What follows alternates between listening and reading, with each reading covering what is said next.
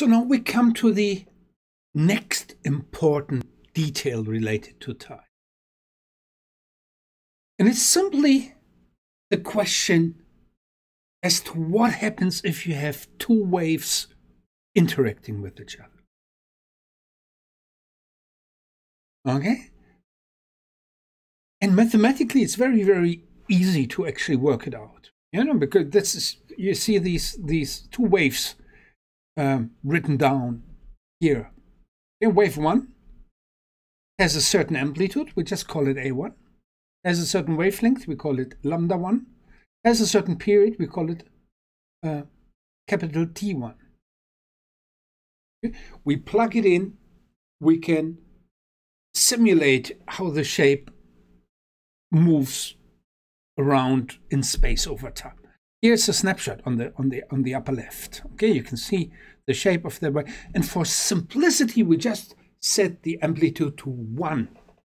Okay, so you can see that the wave one uh, undisturbed is zero, and then it goes up by plus one and goes down by minus one. Okay, now we can do this similar thing for wave two. Has another amplitude. We also set this to one. The unit is irrelevant. Okay, you can just imagine that it's one meter, but it really it doesn't matter. Okay, we also set it to one. The amplitude. Oh, we can choose a different wavelength. We can choose a different period. And then what we call the interference is the sum of wave 1 plus wave 2. And I can already show you one example. Okay, it's just a still image. We still have to see the waves in action. It's just at a, at a chosen time. Okay, I don't know the setting of this one. We look at some movies uh, uh, on the following slide, but you can see that there are regions where the waves actually amplify each other. They sit on top of each other, and you get an amplitude exceeding one. Okay, you can see that here's a slight increase above one this is an area here where you have, we call it a positive interference. Or a constructive interference.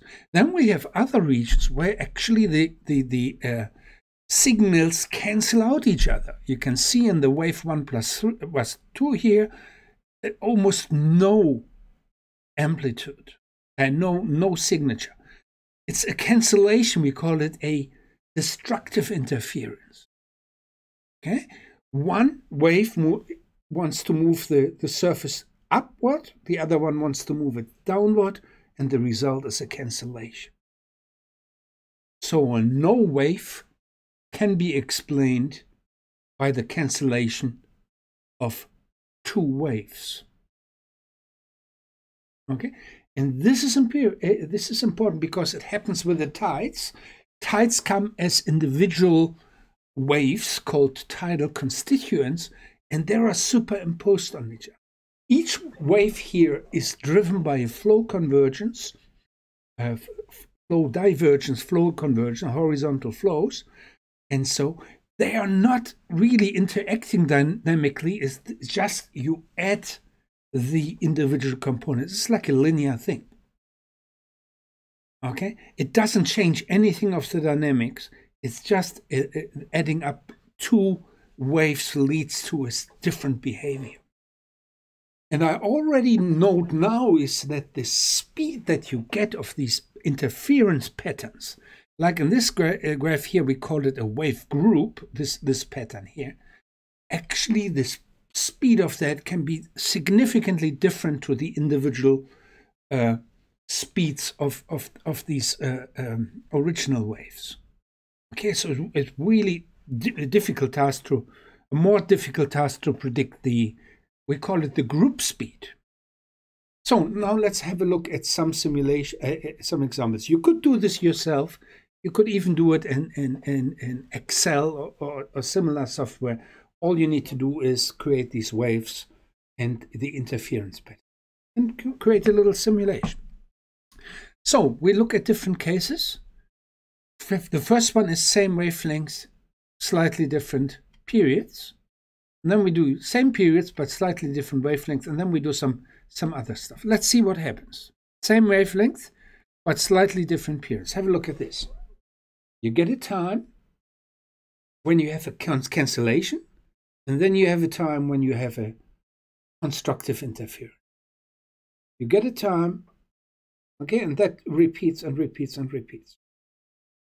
Something very similar to this happens with the tides, such that you get what we call a spring neap tidal cycle. There are times where the tides, the two components of the tides, sit on top of each other, create maximum tidal range. At other times, you get a cancellation or a partial cancellation of the of the signal called spring tide. Okay, let's have a look at the the next example. Okay, and this is one where you have the same period but slightly different wavelengths. Okay, in situations like this, you can actually have um, when you have uh, two waves just coming from different, uh, uh you know, just coming slightly modified with a different wavelength. You get this. You get these features where you sometimes waves are very high and sometimes waves are very low. Okay, and that's probably if you surf, then you experience that quite a lot. That you there are these magical numbers in certain areas you have to wait for 11 waves and then the next you have to wait then you get another good wave magical numbers and that depends on the regional behavior of, of, of, of uh, waves. Okay, another example is this is an, actually an, an important one. It's called a standing wave. It happens if you have this, the waves have the same property, exactly the same, but they move in opposite direction. What you get is a wave that only swings up and down. Okay, between these regions which move up and down, you have so-called wave nodes. And under the wave nodes, they don't move vertically at all, but you only get horizontal movement under these wave nodes. You know, have uh, these horizontal and both ends goes up and down. Okay, and this happens if you get a reflection.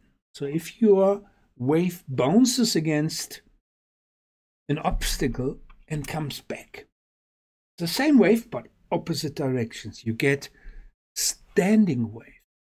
Also, if you have a closed basin and you move it, you get these standing wave patterns called seiches.